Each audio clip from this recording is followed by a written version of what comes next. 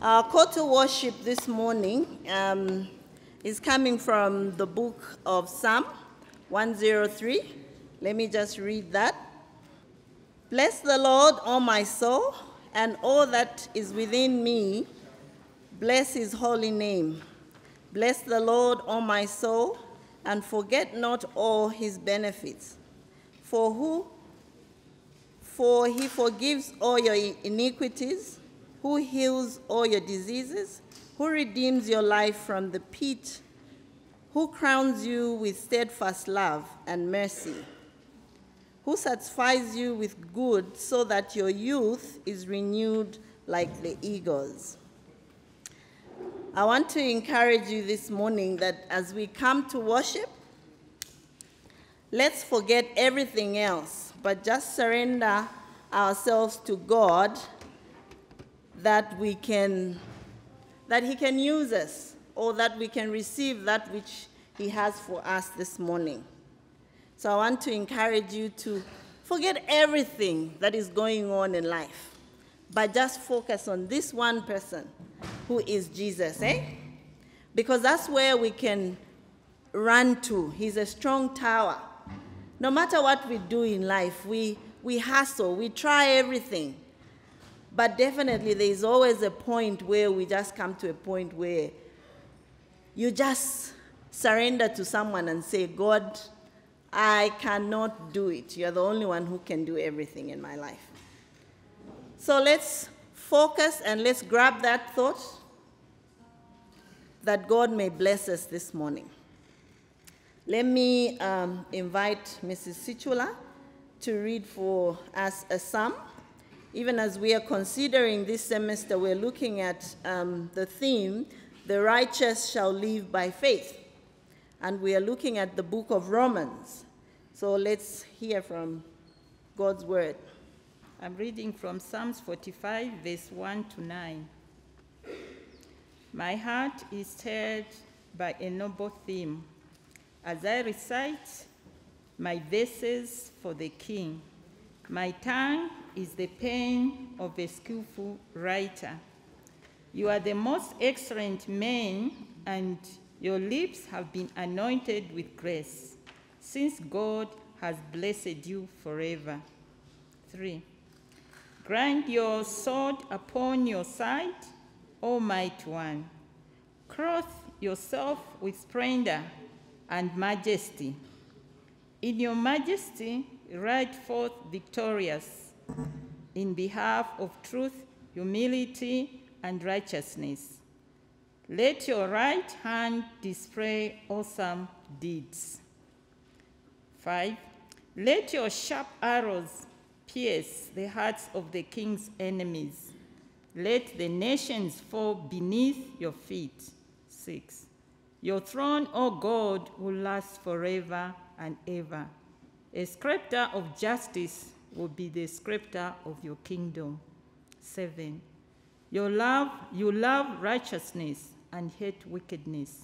Therefore, God, your God, has set you above your companions by anointing you with the oil of joy.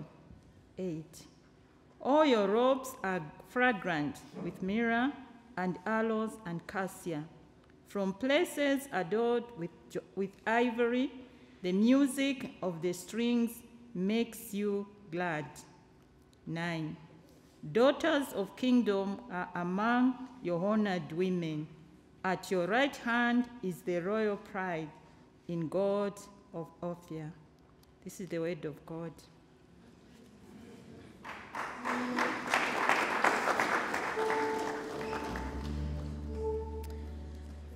Okay, um, let's invite the choir. I'm going to ask Mapalo to come and pray for us as we start this um, uh, praise and worship. But at the same time, I'm inviting the, the praise team to come and help us with some worship.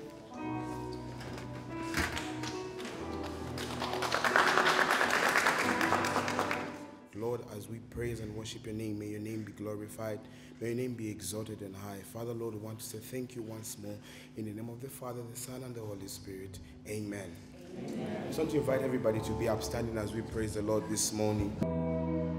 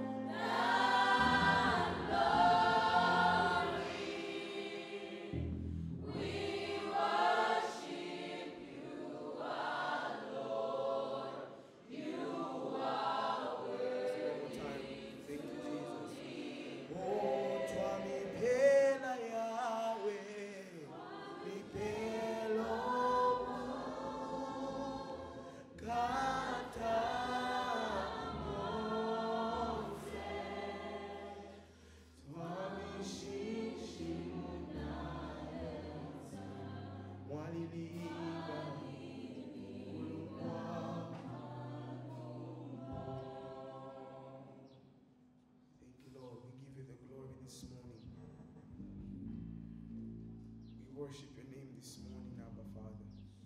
Only you deserve the glory. Only you deserve the honor. Only you deserve the praise, Almighty God. We give you the glory and the honor. We worship your name. We glorify your name. We thank you, Lord. We thank you, Lord, for what you're doing in our lives. To thank you for what you're doing in our families. Want to thank you for what you're doing for Northrise University. Abba, Father, we give you the glory and the honor. As everybody says, Amen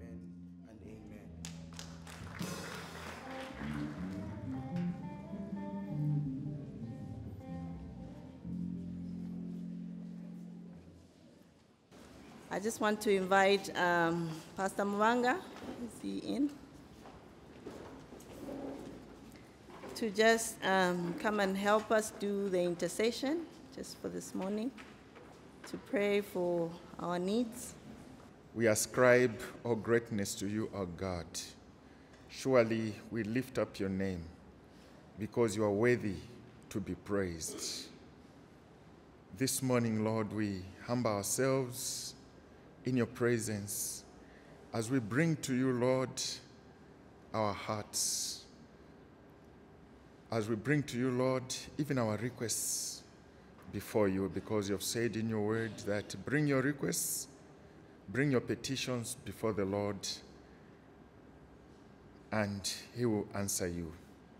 This morning, we want to pray for students who have lost their loved ones, who have lost parents, grandparents, friends, and brothers and sisters. We pray for your strength. because you are the only source of comfort. Comfort them and strengthen them, Lord. We pray, Father, that you touch them and you encourage them in your own special way. And this time, Lord, as we come just near the quizzes, the tests, we pray for our students, we pray for our members of staff, we pray for the entire process of the quiz and tests, committing it in your hands. We pray that, Lord, uh, you help our students to apply themselves. You will help them, Lord, to work hard. Equally, Lord, the faculty, Lord, you give them the strength, the impetus, even to work hard as they prepare. Give them the strength which they need. We thank you, Lord.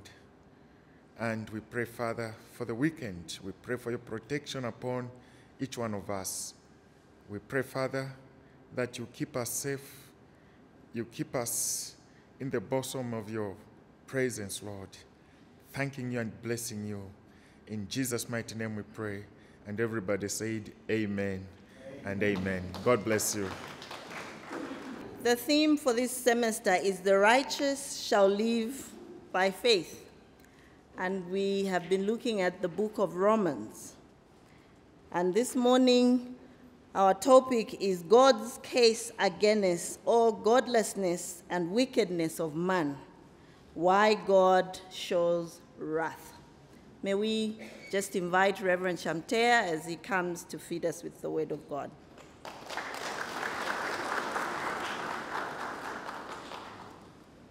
Thank you for the opportunity to just, you know, share the word of God and encourage one another this morning as we run through uh, the book of Romans.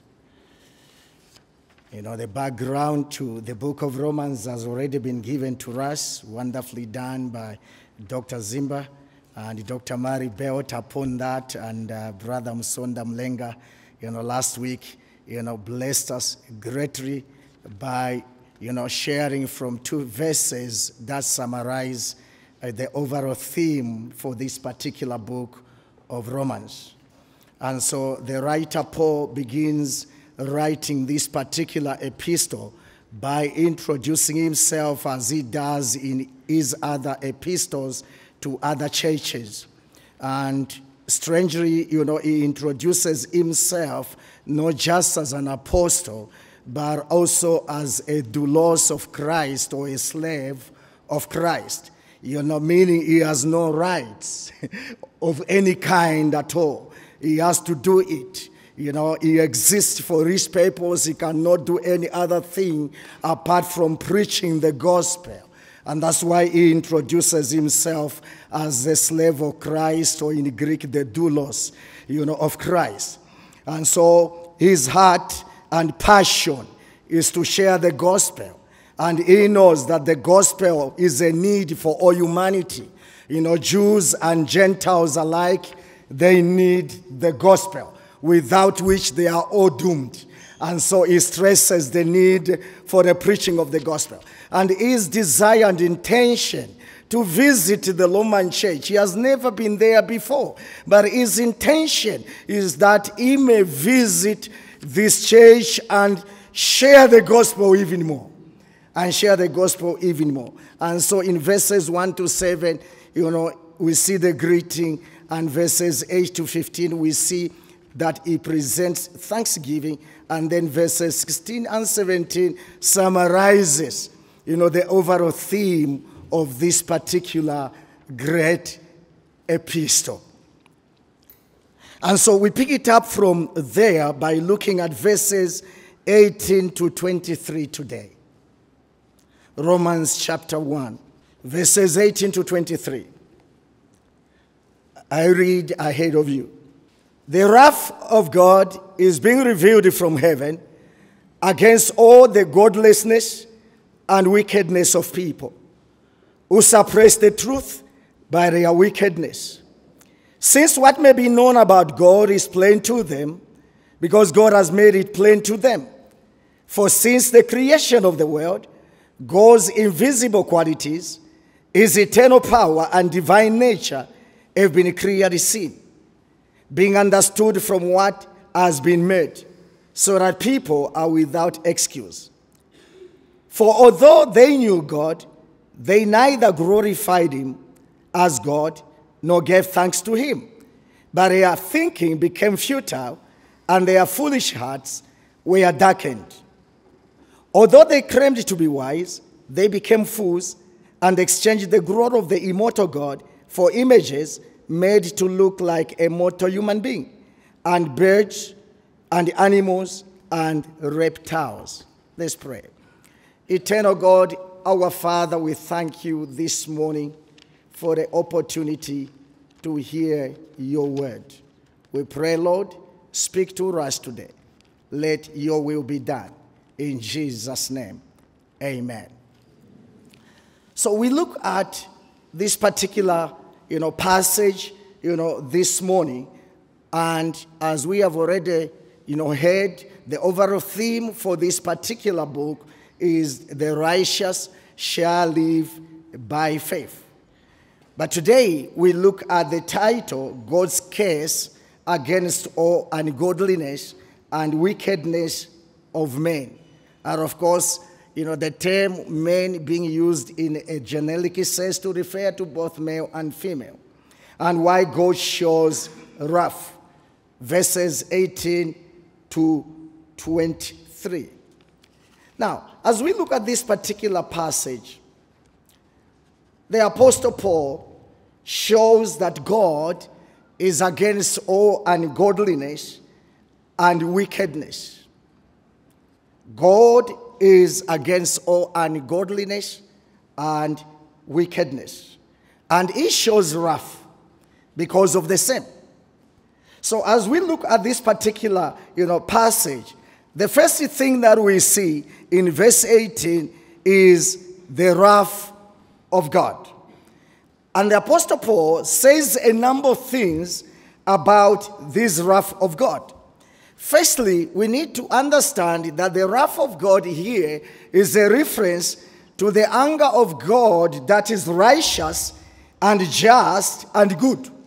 It refers to God's anger that stands against sin, against evil, against violence, against slaughter, against immorality, and against all injustices that happen among, among human beings. And so, this is what the wrath of God is in this particular uh, passage. And so, if he's talking about the wrath of God in that sense, then it does not just apply to the context that the Apostle Paul was speaking to, it also applies to our context today. Because the things are very much, you know, a, a reality among us. Sin is very much a reality today. Evil is very much a reality today. And so we see so many injustices among, among human beings today. And so the wrath was not for then, it is also for today and for the now. And so this is what the Apostle Paul talks about. And so as we look at the wrath of God in this particular passage, there are three things that we need to note. The first thing is that the wrath of God is a reality. It is a reality. It says the love of God is being revealed. It is a reality. He is not exaggerating. He is not telling a story. He is not assuming something that is not, that is not there. You know, it's not simply an assumption. It's something real. So that's the first thing. God's anger is real. It's there. And so he, he wants to awaken them to that fact that is there. They need to be aware. And the second thing is that God's wrath is revealed from heaven, from the very throne of God. The wrath is revealed. This anger is revealed against humanity. And there are reasons why God reveals his anger against humanity. It is revealed. Already from the psalm that was read, we heard that God loves righteousness and hates wickedness. And the third thing that we see in this particular verse is the subjects of God's wrath. The subjects of God's wrath. And when we look at the subjects of God's wrath, we see two classes of people here. The first class is that of ungodly and wicked human beings. That's the first class of people here. And so he says, the wrath of God is being revealed from heaven against all the ungodliness and wickedness of people who suppress the truth by their wickedness. And so there are two classes of people here. The first class is that of ungodly and wicked people. Ungodly and wicked people. And the word ungodliness here or godlessness is the Greek, you know, asebeia. And the Greek word asebeia simply means failing to love and obey God. Failing to love and obey God. And not being like God. And not desiring to develop the godlike character. That's what it refers to. And the word wicked is the Greek word adikia. And it simply means failing to love others and treat others as you should. And so it refers to acts against others. Acts against others may involve cheating, stealing, lying, abusing others, enslaving others, destroying others, taking advantage of others. That's how the word wicked is used in this particular te- text, this particular context. And so it's not just for then, even for now. How do people treat their fellows? How do people treat one another? Do people still look down upon others? Do people still teach, still lie, still steal, abuse others? And so on and so forth. So that's the first class of people here. And so God is against such. His anger is against such. Those who do not love God and obey God, and those who do not love and treat others as they should. That's the first class. Then the second class that we see in this particular verse is that of people who suppress the truth by their wickedness in verse 18b. Who suppress the truth by their wickedness. And to suppress is simply to hold down, to repress, to stifle, to hinder, to, you know, that's what it means. But how do they know the truth that they suppress? And this is what we see in verses 19 and 20. How they know the truth which they suppress. The first thing is that this truth is about God Himself. The truth is about God Himself. That's the first thing. And then, secondly, we see how they have come to know this truth. What are the sources of this truth? The first is that the source of truth is the very human mind, the inner being, the conscience, the inner person appeals to them, tells them something about God. They have a conviction within themselves. They can know God from within. The way God has flamed them, the way God has made them. There is something within them that is conscious of God, that He is there, He exists. There is someone above all and above everything. There is something within them. Even before the revelation of God by Scripture, already God has placed something within them that appeals to them that there is someone. This is how they know about God. So from within, their reasoning, their thoughts. And so they reject their conscience and thoughts and reasoning about God. They reject that. Even if their thoughts are telling them, their minds are telling them there is someone, they decide to reject that. What do you think about God? Does your mind tell you something that there is someone above, someone supreme, the most high? Does the inner being appeal to you? Are you conscious of God? That He exists. He is there and He is real. And so we see that, you know, what they need to know about God is evident to them.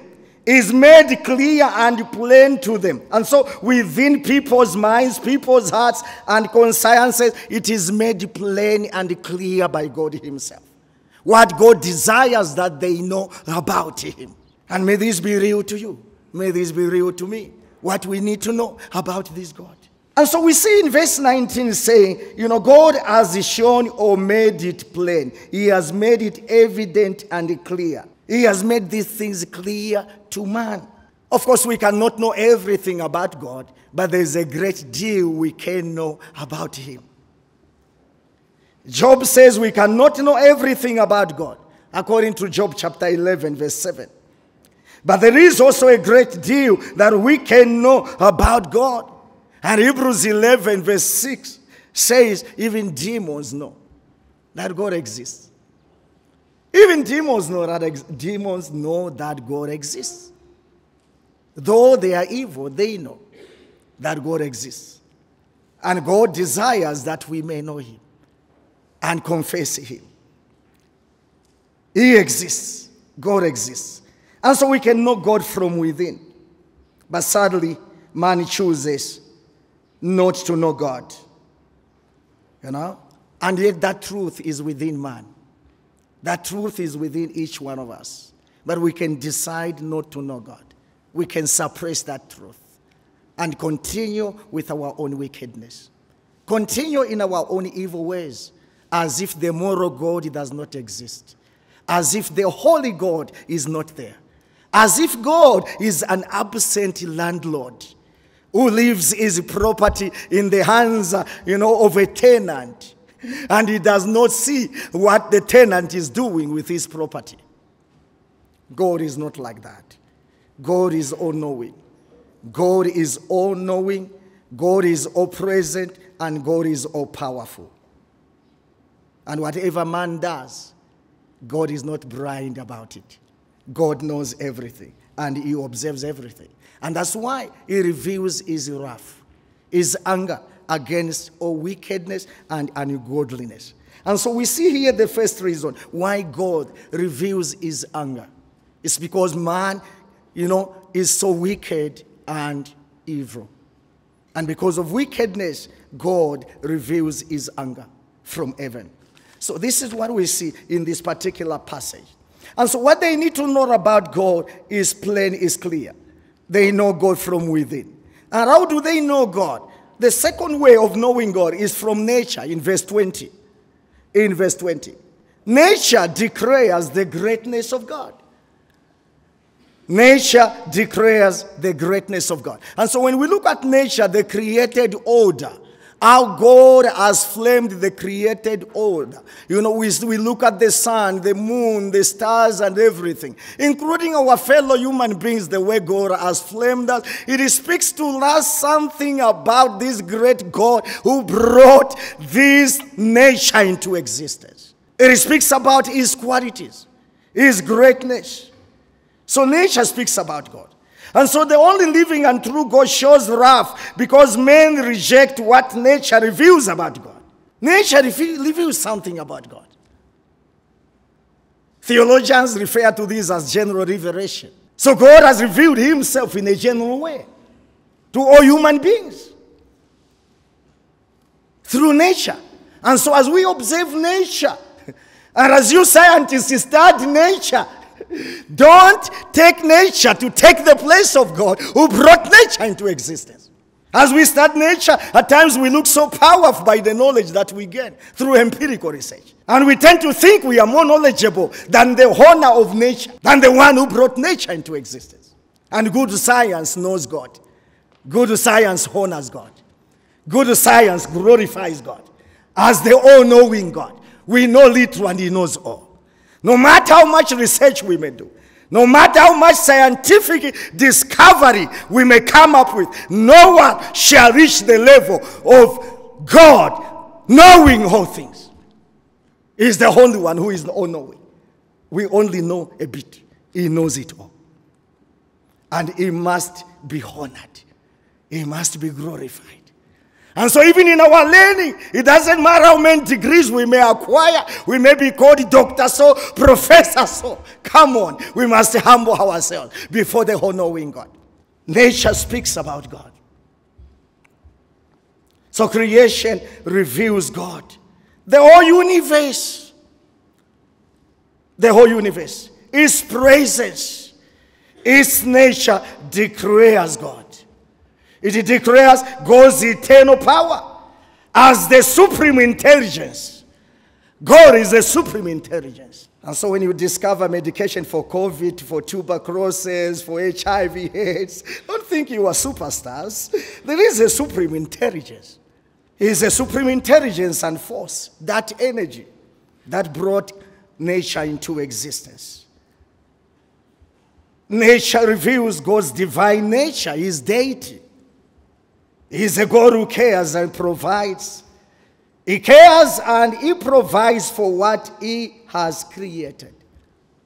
He does not leave the creation or nature to sustain itself. He sustains nature Himself. That is the nature of God.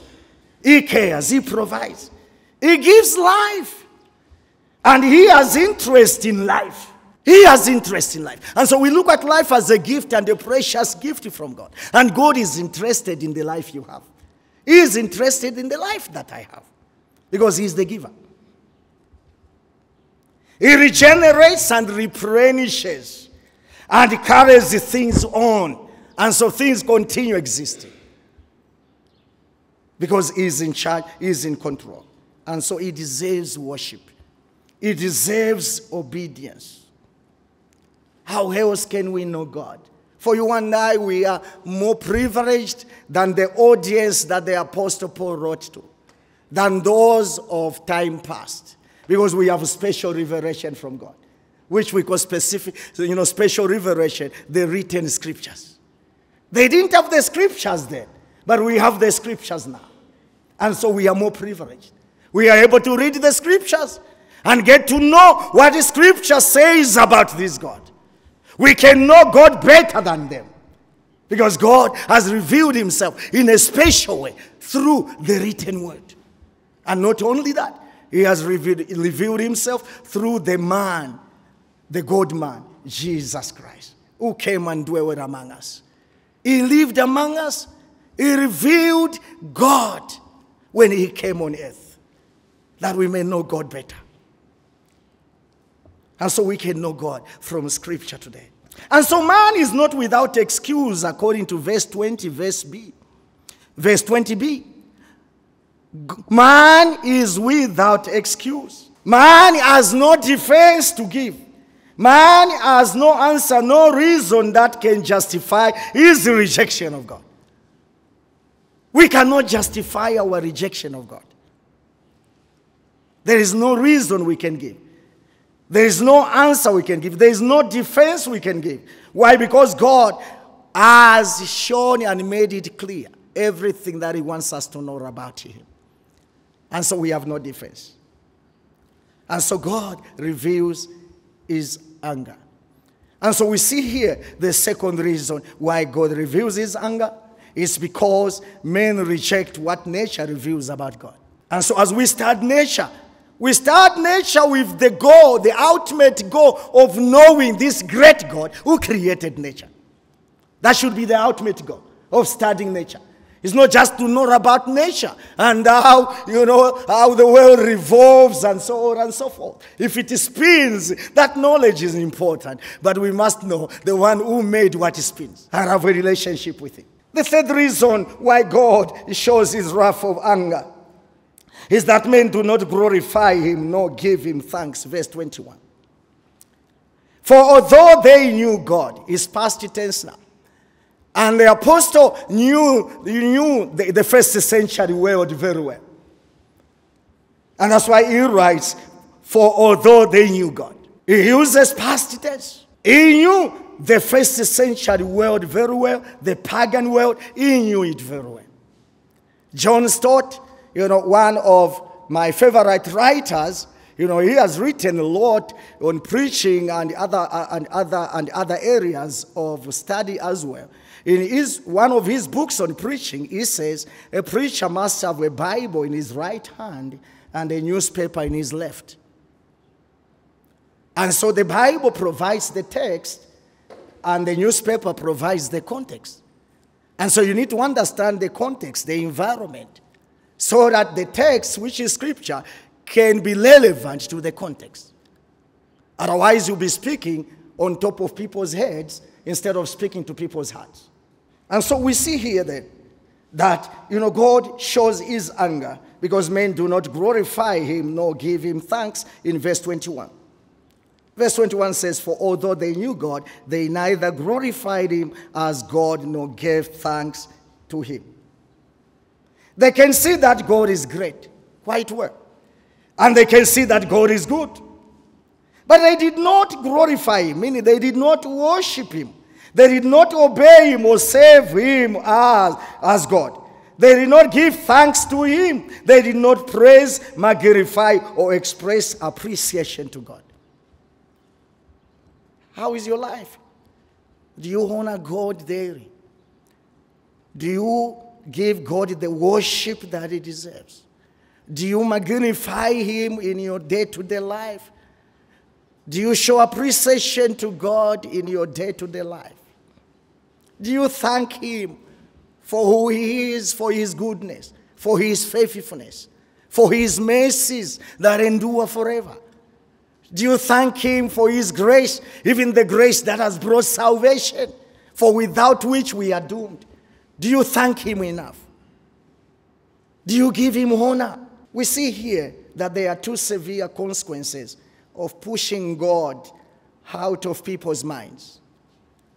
There are two consequences here that we see of pushing God out of people's minds. And when we push God out of our minds, there is disaster.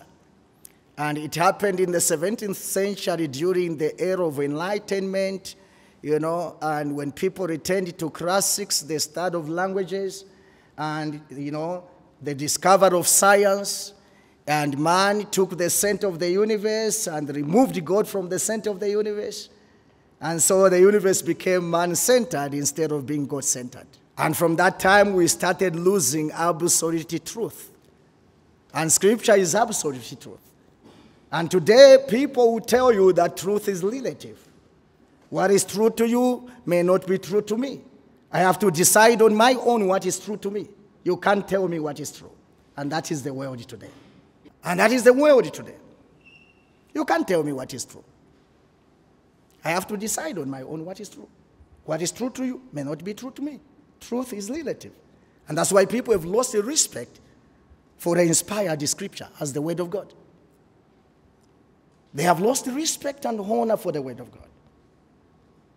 Because truth can be anything now. No more absolute truth. Truth can be discovered on your own.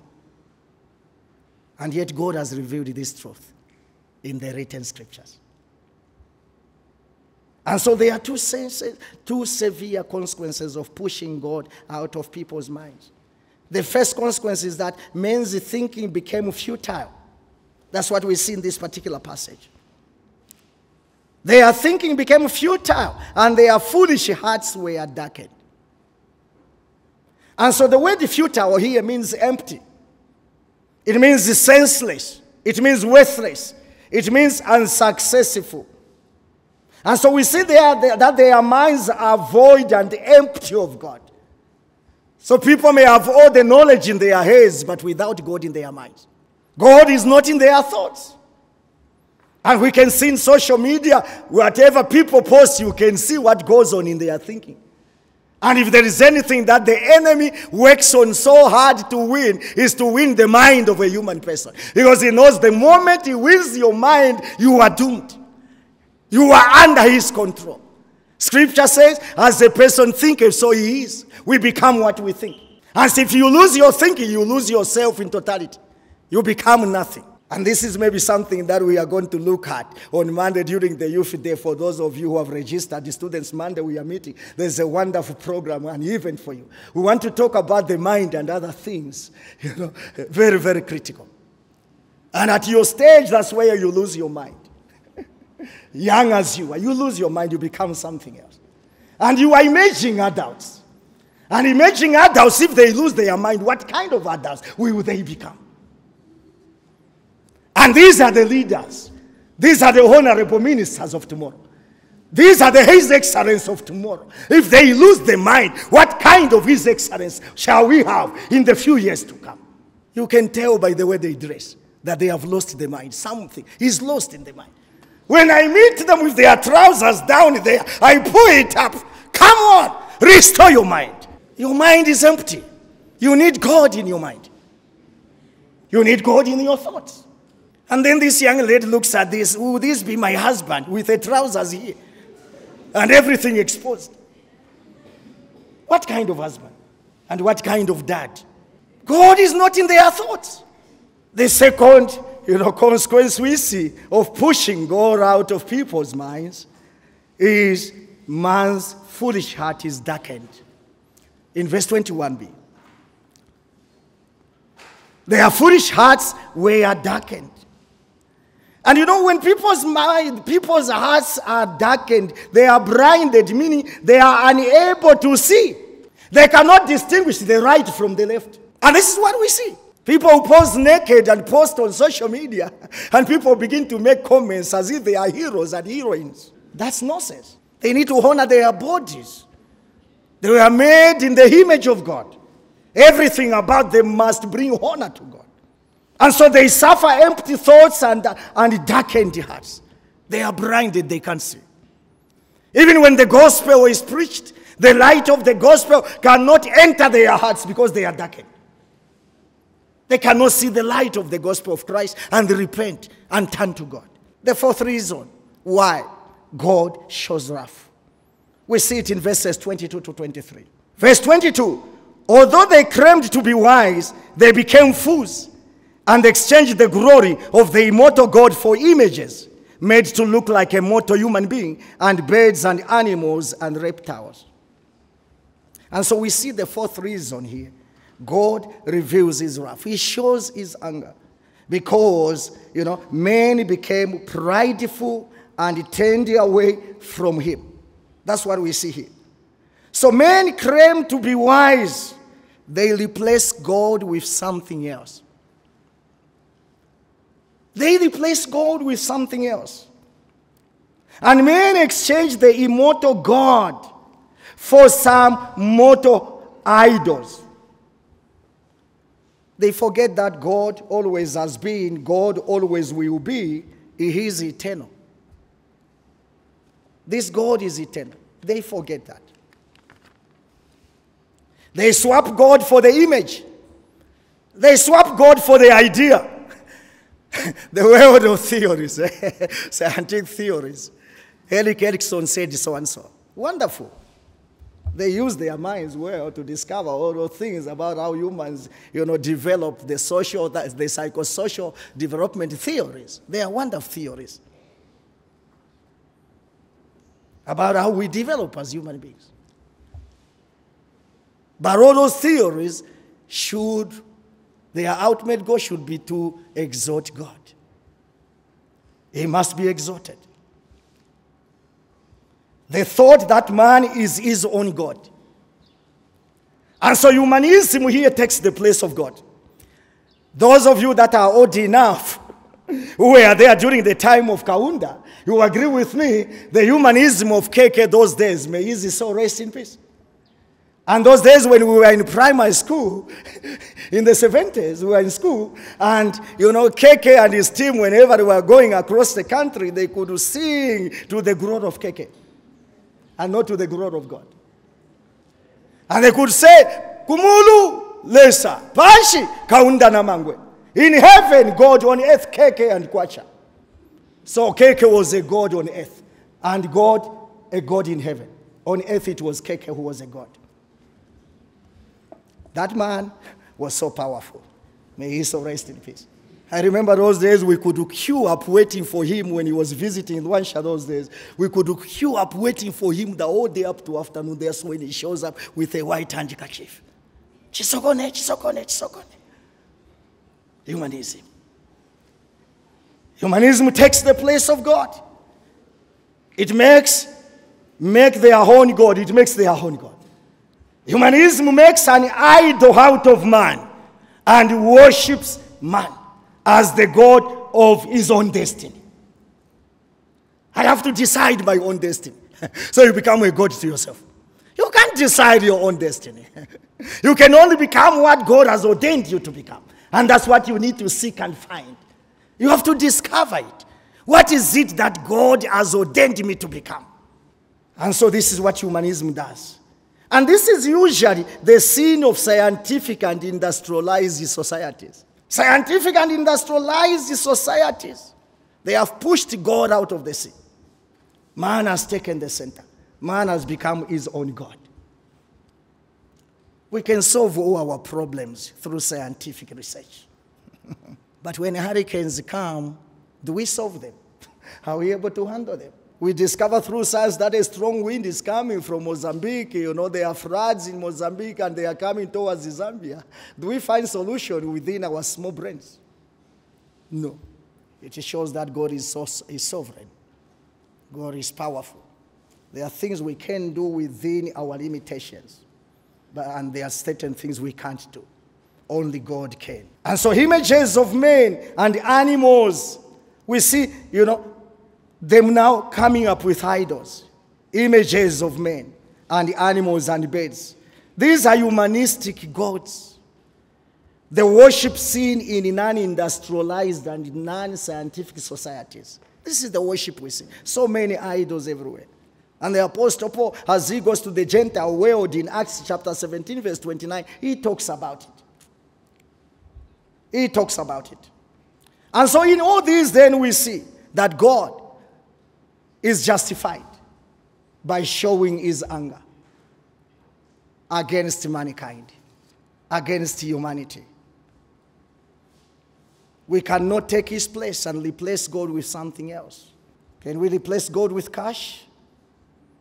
Those days we had the three C's one C for the car, another C for cash, another C for the cell phone. I don't know now. Can we replace God with ideas, with thoughts that we are our own God.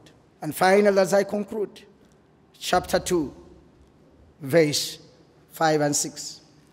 Verse 5 says, But because of your stubbornness and your unrepentant heart, you are storing up wrath against yourself for the day of God's wrath, when his righteous judgment will be revealed. And so God's wrath for judgment is progressive. There is a day when the final judgment of God shall be, shall be faced. And it shall be faced because people have refused to repent even after hearing the truth. They have heard the gospel, but they have remained stubborn. They don't want to repent, they don't want to change their ways of life. And so God's final judgment is promised. It is a reality, it is assured. May this be the time to search our hearts.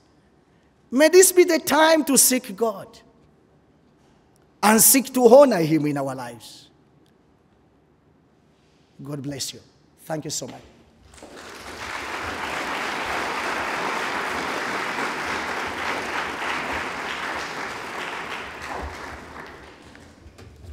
It's been so clear. And I hope every Everyone has taken something from the message. And just a few reminders, just to few takeaways this morning from God's word. The gospel is for everyone, but only those who believe in him will receive the gospel. God, who is holy, holy is against wickedness and godlessness. God's wrath is God's anger, and it is a reality. Why God reveals his wrath and anger. because God has revealed himself to all mankind. Because God's nature speaks about him. Because human beings know his greatness, but they do not glorify him. They reject him and cannot obey him. Because men have become proud and turned away from God. And in all these things, God is justified for taking his anger. God's judgment is coming. Amen? May I um, ask uh, Pastor Mugala to just close for us in a word of prayer? Uh, shall we pray? Gracious Heavenly Father, we want to thank you for this uh, wonderful opportunity that we can gather in this manner. Lord, we want just to thank you for the bread that we've partaken with regards to your word, O Lord. It is my prayer that, Lord, as we have heard your word, may it sink into our hearts and may we practice it and may we be aware of the great wrath of you, God. Father, I pray that, God, we will succumb to your word. We will take heed to your word. We want just to thank you that, Sovereign Lord, you continue speaking to each one of us and convincing us through your word and through the power of your Holy Spirit. Father, even as we come to the end of our chapel today, we are excited to say thank you, God, and committing the rest of the day into your very hands. May your name be glorified and be honored as we continue the rest of the day with our various tasks. We pray this in the blessed name of our Lord Jesus Christ and Savior. Amen and amen.